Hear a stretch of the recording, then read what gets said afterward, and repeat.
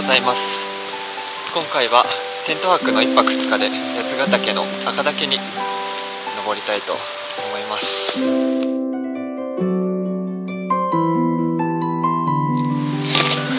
ゃあ今回は行者小屋に向かうので南沢の方から行きます。北沢行くと赤岳高専の方ですね。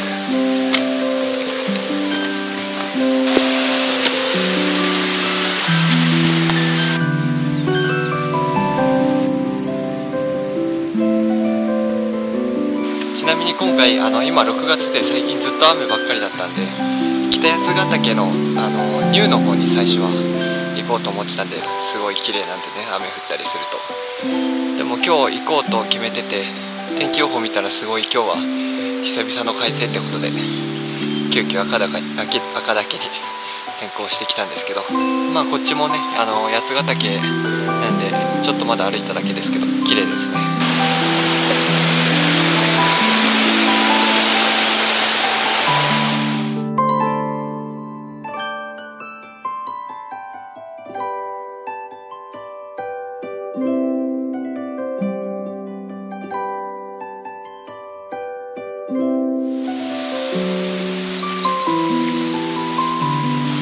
すごいいい声で泣きますね。もうすごい。一枚岩。大きい。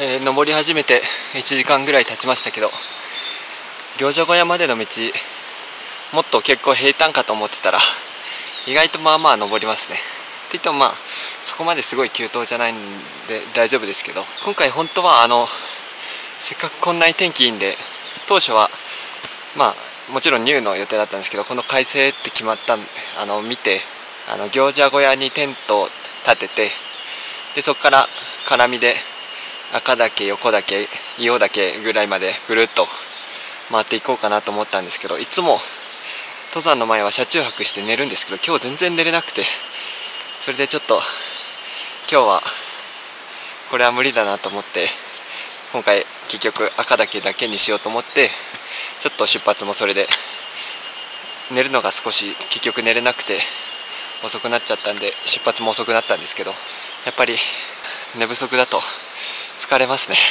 いつもより。まあ今日は時間に余裕あるんでゆっくりゆっくり行きたいと思います。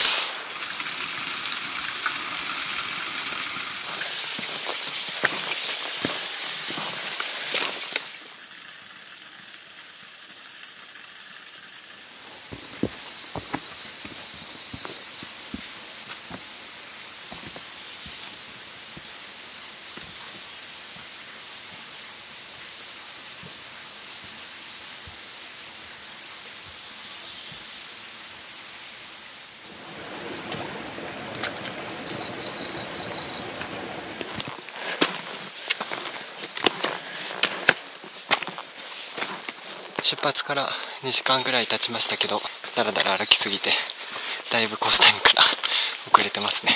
ちょっとペース上げたいと思います。前に山が見えてきましたね。あれが赤岳ですかね。大きい。行者小屋。あと少し。行者小屋到着です。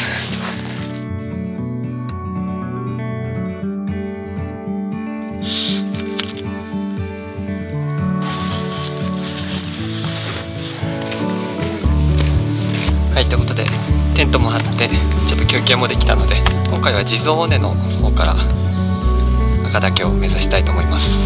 コースタイム的にはまあ2時間弱ぐらいですかね。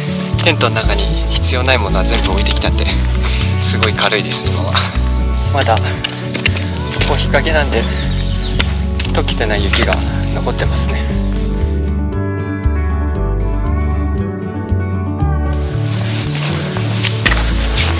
急な階段。行者小屋越えてから一気に急登続きですね。景色がすごい開けてきましたもうあんな行者小屋から結構登ってきましたね。あそこが中岳かな。もうちょっとストックも邪魔になりそうなんでもうしまいたいと思います。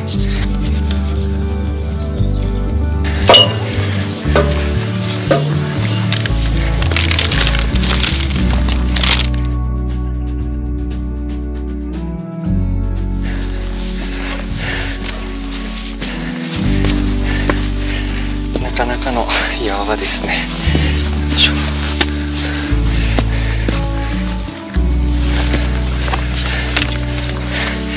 やっぱ全身使うんで。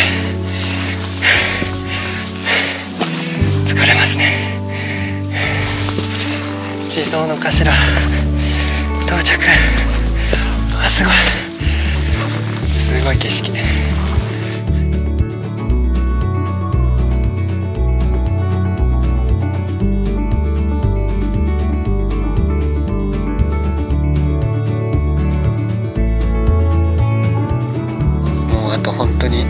一瞬で着くつもりでいますけどなんだかんだあそこまだすごい急登がありますね。当初の予定としてはこっちをまっすぐ行って横岳と硫黄岳まで行きたかったんですけどまあそれはまた次回にしたいと思います。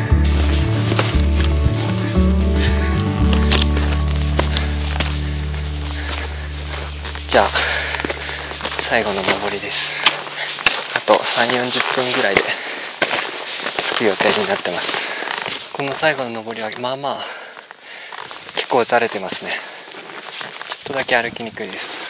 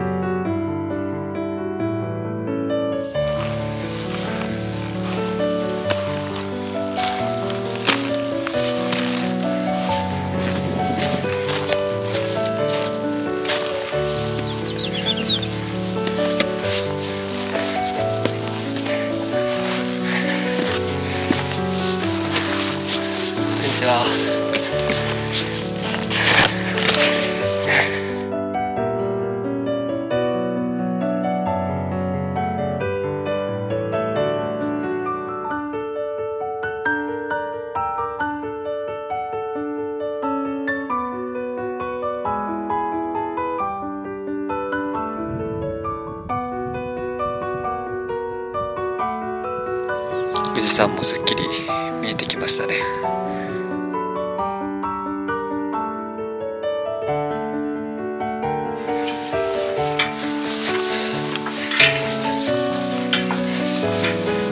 じゃあ山頂でかなりのんびりしたので2時間ぐらいのんびりしちゃって2時今過ぎちゃったので、まあ、下山にも1時間半ぐらいかかると思うんでそろそろ下山したいと思います。いや本当に風もないし冬と違って暖かいんでずっと山頂にいても全然気持ちいいですね。えっ、と下山は周回ルートで文三郎尾根から下っていきたいと思います。こっちも見る限りなかなか険しいですね。気をつけていきたいと思います。今人がいないんでいいですけど結構ざれてるんで落石が危ないですね。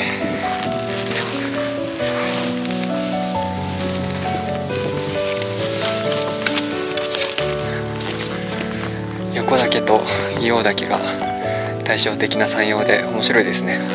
あっちは横岳はゴツゴツして硫黄岳は丸くて爆裂加工もねすごい特徴的ですよね。でその奥行ったら天狗岳冬あの正月に登った天狗岳。あっちの方が立科山ですね。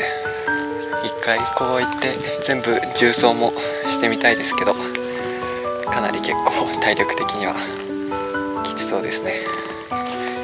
ここをまっすぐ行ったら中岳や皆岳に行けるんですけどまあ今日はもうそのままこっちであそこに小屋見えてると思うんですけどあそこまで下りたいと思います。